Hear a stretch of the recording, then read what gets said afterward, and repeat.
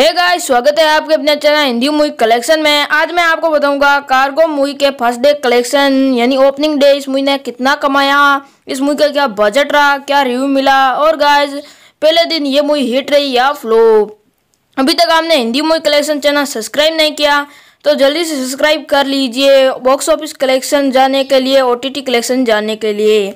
बात की जाए इस मूवी की रिलीज़ को तो गाइज़ इस मूवी को रिलीज़ 9 सितंबर, यानी आज नेटफ्लिक्स पर रिलीज़ किया गया है गाइज़ और इस मूवी का बजट तेईस करोड़ रुपए था।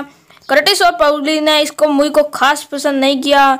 टू स्टार इस मूवी को रिव्यू दिया था।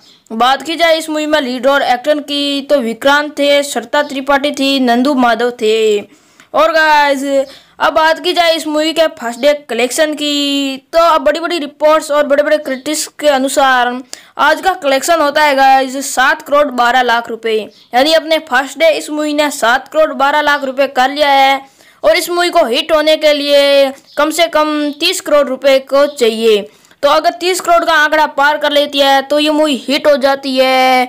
और गाइज़ लाइफ टाइम कितना कलेक्शन करेगी, आप ज़रूर बताना कमेंट बॉक्स में। आपको ये वीडियो अच्छी लगी तो प्लीज़ यार चैनल को सब्सक्राइब कीजिए, वीडियो को लाइक कीजिए, दोस्तों में शेयर कीजिए।